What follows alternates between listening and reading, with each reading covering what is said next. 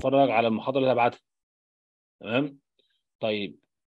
نباتات طبية وعطرية نفس الفكرة هتفرج على الفيديو ده لحد ما نعمل بقى الكورس بتاعها إن شاء الله.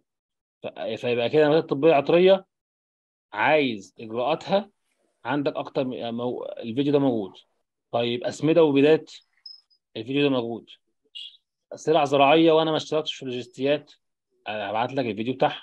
يبقى إحنا كده إيه خلصنا الأجزاء بتاعة الزراعة. طيب. عندي تاني طب أنا منتج مستحضرات تجميل أو أدوية أو مكملات. هصدر مستحضرات تجميل أو أدوية أو مكملات الثلاثه دول. لازم بقى نركز شوية لأن الموضوع هنا مختلف. إحنا هنا دخلنا إحنا اتكلمنا على المنتج الصناعي العادي. اتكلمنا عن المنتج الصناعي الزراعي الغذائي. هنتكلم دلوقتي عن منتج صناعي بس هو مكملات وأدوية. لازم ناخد بالنا من حتة مهمة جدا وهي في الأدوية بالذات في حاجة اسمها ما قبل ال- ال- الشركة أصلا. مش ما قبل الشحنة ما قبل الشركة أصلا. لو أنا هفكر إن اصدر مستحضرات تجميل أو مكملات مش مستلزمات يعني عندي القطاع في إيه؟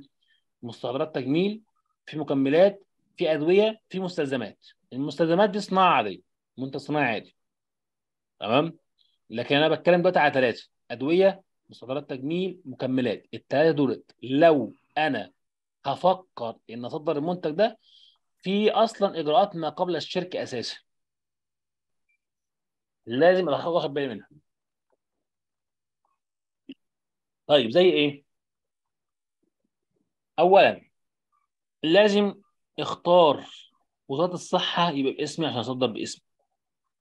مش هنا بقى مش مش هتكلم على السجل الصناعي وآخد تنازل والكلام ده كله. لا أنا بتكلم على أصلا المادة الفعالة بتاعت المستحضرات التجميل أنا صنعتها. مش هروح أصنع كده مش ما ينفعش أي حد يروح يصنع دواء يقول لك أنا هصدره. أو أصلا حد يستخدمه محليا. أو واحد مثلا تحت السلم معبي كام زيت كام زيت على بعض يقول لك أنا عملت زيت شعر ويلا بقى نصدر. ما ينفيش. مستحضرات تجميل أو مكملات أو أدوية يبقى على طول أول أول ألف ب بيقول اختار وزارة الصحة يكون باسمك. في ناس بتعمل حاجة تانية بتشتري ملف أصلا كامل على بعضه كده. ممكن يخش مثلا مبلغ قدره مثلا إن أنا يبقى المنتج ده تصنيعه والمكونات بتاعته باسمي أنا من وزارة الصحة. تمام؟ فده كلمة إن أنا أصدر مستحضرات تجميل. أول حاجة أصلا العميل هيطلبها منك اختار وزارة الصحة. تمام؟ ومعاك طبعا السجل التجاري الوزاره الضريبيه سجل المصدرين رقم متعاملين اللي إحنا قلنا عليه. تمام؟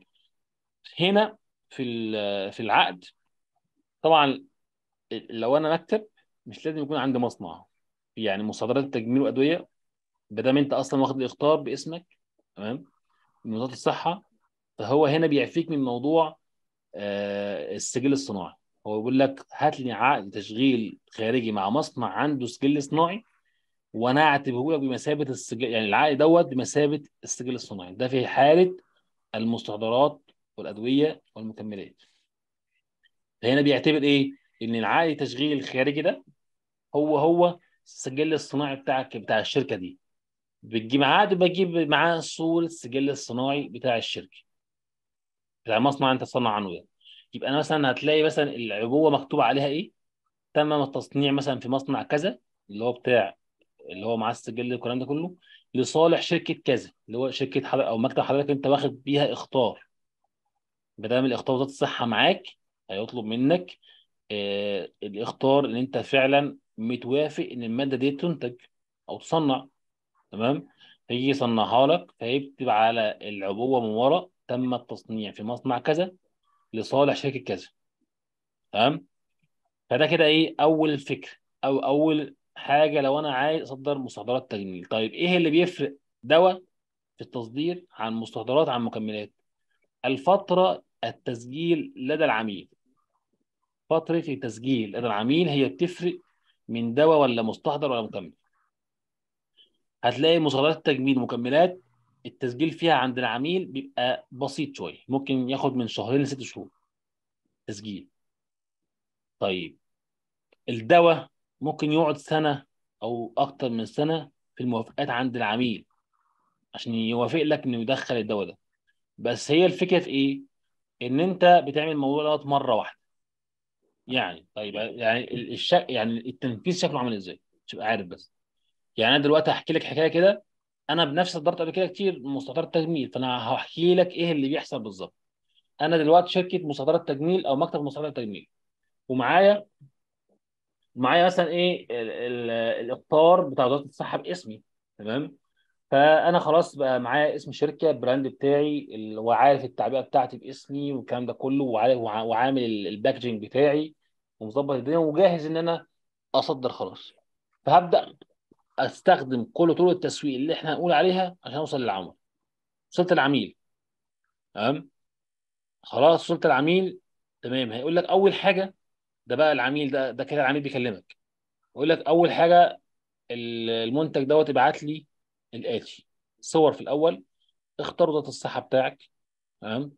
المصنع اللي أنت بتصنع عنده معاه ال GMP ولا لأ؟ في بقى في بعض العملاء بيطلبوها وفي بعض العملاء ما بيطلبوهاش. إيه هي ال GMP ديت؟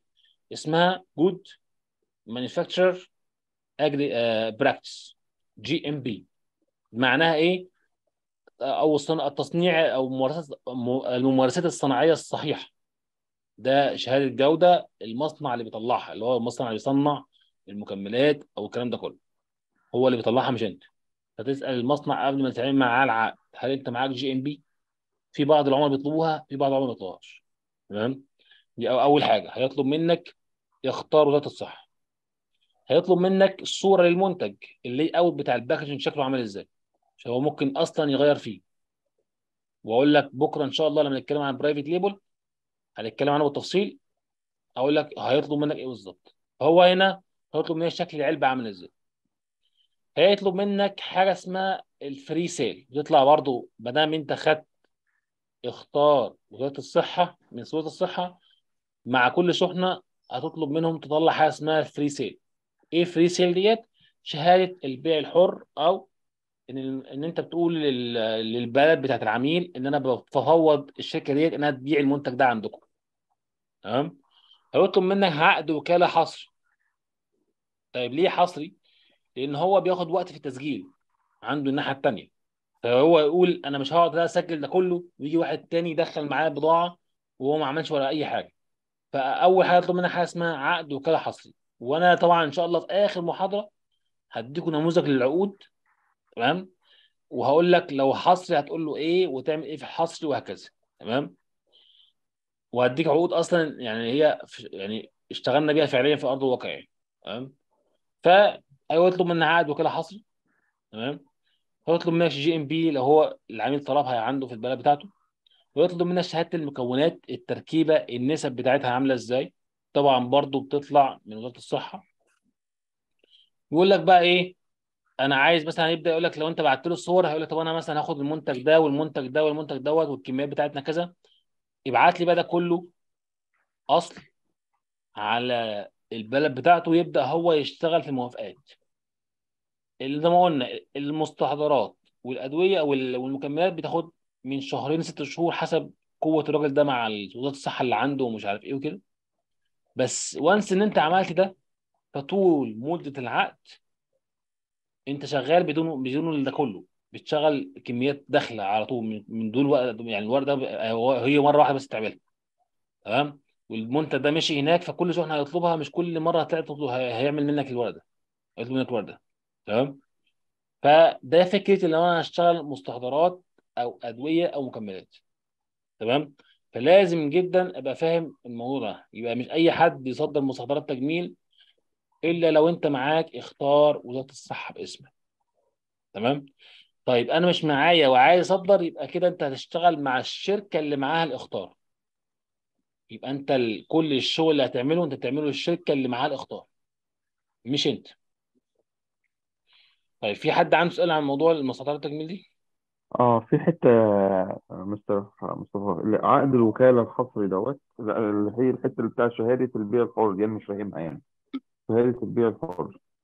فانا أنا لما العميل يطلب مني ال free sale بروح وزارة الصحة أقول له عايز أطلع ال free sale بيطلع لك شهادة كده اسمها free sale للمنتج ده باسم العميل اللي أنت هتطلعه. أهو هت- هتبعت له ال- الشحنة دي. فهو بياخدها ويوديها لوزارة الصحة بتاعته. منك أنت مع الورق اللي هو طلبه ده كله يوديه وزاره الصحة. وزارة الصحة توافق له إن هو يدخل المنتج ده عنده ويبقى هو المسؤول عن بيعه في في البلد بتاعته بسبب إن هو معاه الفري سيلايات ومعاه عقد الوكالة الحصري. عقد الوكالة الحصري ده لو أنت عندك حالة عملية يعني هبعت لك العقد ده دلوقتي لكن لو لسه بت يعني بتشوف آه ده يعني إن شاء الله في آخر محاضرة نتكلم عنه هوريك يعني شكله عامل إزاي وإيه الفرق بينه وبين عقد الوكالة العادي ولو مثلا طب أنا مثلا هعمل عقد وكاله حصري طب أنا عايز أخش البلد دي بنفس ال... أو بمنتج تاني هعمل إيه؟